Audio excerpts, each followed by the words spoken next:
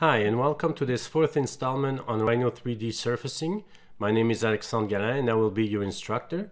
So uh, in this case, I decided to focus more on the bottle designs, how to surface them properly. And I used three types of example. The first one being a jerry can, the second one being a detergent bottle, and the third one is more like a motor oil type of bottle. And each one present their own challenges and difficulties, and I'm going to show you step by step how I go about to prepare the surfaces all the way to get it ready for prototyping. So I will show you some of the uh, techniques that I typically use on my day-to-day -day job with Rhino 3D.